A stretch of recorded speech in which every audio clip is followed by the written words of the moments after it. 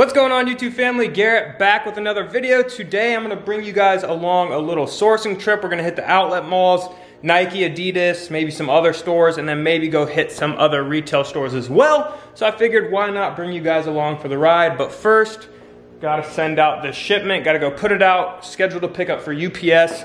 Uh, so we're gonna get that put out front, and then we're gonna go hit the outlets. Let's go.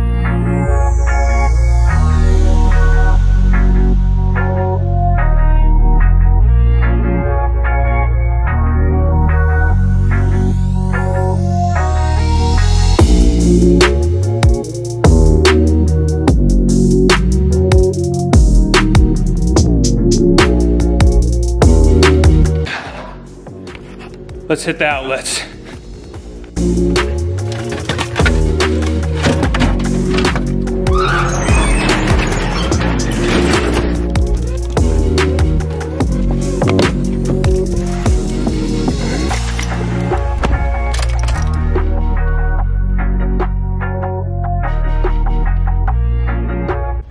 Outlets were trash, so we stopped at Burlington. Can we see it back there? Where is it at?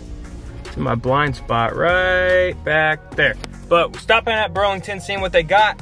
Um, and we're just gonna keep hitting some stores. So hopefully we can find some good stuff. Let's go. I didn't have any luck shopping today. I went to three stores, found like a couple items. So I was like, you know what, screw this. I'm gonna go home and I'm just gonna start prepping all this crap I have over here um, that didn't get out in today's shipment. Um, unfortunately, I ran out of labels. So what I'm gonna do is I'm gonna set it up on Inventory Lab to where it doesn't print out any labels. I'm gonna get everything listed and prepped. And then tomorrow when I get my labels in from the mailman, I'm going to then just go on Inventory Lab and print out all the labels, label the stuff, and it'll be ready to ship out. So also, if you're looking for a good heat gun, they have these like heavy duty ones at Harbor Freight. They're only like eight bucks um, compared to the ones you pay like $20 for on Amazon that really suck. They don't heat up that quickly. These heat up extremely quickly, but if you do get one, when you first get it, make sure you run it on low for a little bit and watch it. Um, because for some reason it can start like, it's since it's so new, it starts smoking up. Um, but that's literally after you just run it one time. Um, but I'm telling you, these are the best heat guns. You got high speed, low speed, and for eight bucks, you can't beat it. And I've had this one for two years and it's still going. Finished prepping a bunch of items right over here as well. Got some back over there. Um, I was gonna scan them in. I scanned like half of them in, but I'm just gonna wait because too many different sizes on those clothing items. I don't wanna mix up and print the wrong labels for the wrong items. So I'm just gonna wait to scan them in. It's the next day. I was gonna turn this into an online arbitrage video just because I didn't feel like going to any more stores, but Found a couple little bolos online that I'm gonna go look for in store at Walmart. And then we're probably just gonna hit some more stores since we'll be in a different area of the town. Uh, don't wanna skip over the stores and we're gonna see what we can find. So sticking to retail arbitrage for today. So hopefully today's trip I can find some good stuff to show you guys um, some profitable items. Let's go.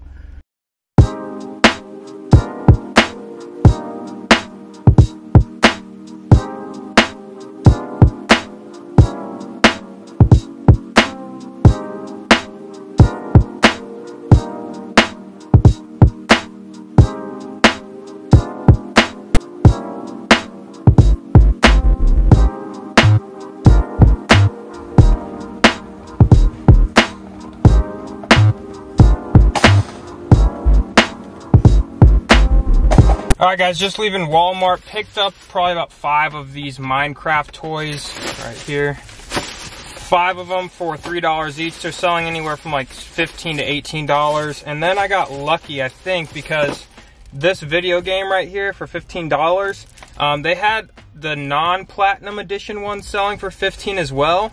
Um, and those were not selling as good as the platinum edition. And they only had three of these that are selling all for over $45. And I think they had these marked wrong um, simply because the non-platinum editions were also 15 and then these were ringing up as 30 when I got to the cash register so they marked them down to 15 bucks. Uh, so 15 selling for over 45 on Amazon got three of those. And that's pretty much all I picked up from Walmart. Um, so we're gonna go hit I don't know I heard Lowe's is had toys. I've never really, I've gone to Lowe's a couple times, but I honestly like never go there. But my dad said he saw a bunch of clearance toys there, so I'm gonna go over there and see if I can find anything that is profitable. Just arrived at Lowe's. Let's see if we can go find some stuff.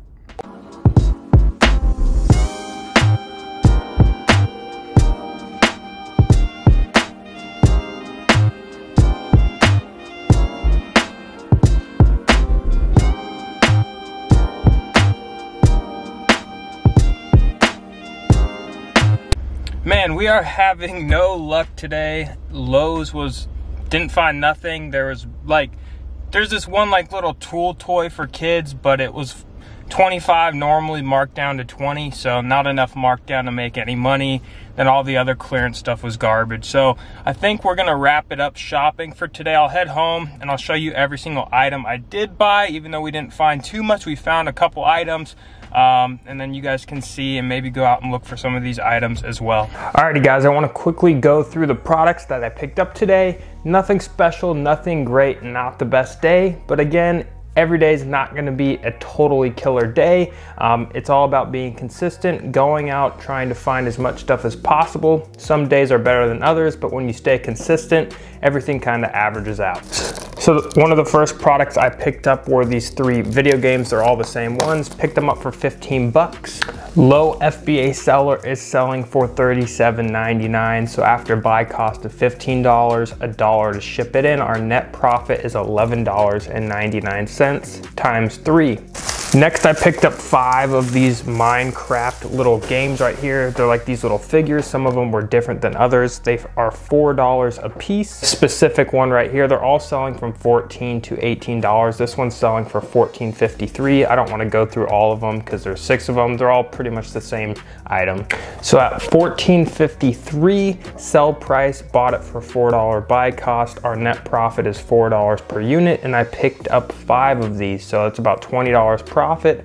Um, so our stop at Walmart was about $50 profit after all fees and costs. Next items were these little Minecraft toys. I picked up three of them from Ross for $4.99 a piece. They're currently selling at a low FBA price of $19. We're gonna do a buy cost of $5.40 simply because sales tax, they don't do tax exempt at Ross in my area at least. So after shipping it in, all the fees and our buy cost, our net profit is 627 per unit um, times three, so about 19, 18, 19 bucks profit. So that puts us at about $70 profit so far. Next item I picked up was this little race monster truck car. I picked it up for $5.99 at Ross. Can you see that right there? Current rank is 81,000 in toys and the low FBA price is 21.98. So at $21.98 plus a $6.56 buy cost a dollar to ship it in, our profit is $5.70 for this one item.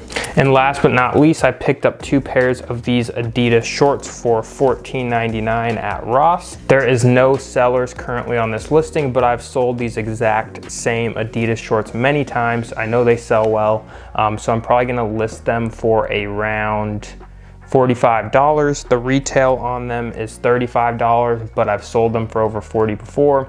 So after fees, these should net me about $15 profit each. So that's another $30. So all in all, not the best haul. We didn't find a ton of stuff, but still about $100 profit. I didn't spend too long outsourcing. The outlet mall sucked. Um, most of the Rosses sucked. Walmart was actually pretty good considering I don't usually do too well at Walmart since I just kind of go in and see what they got.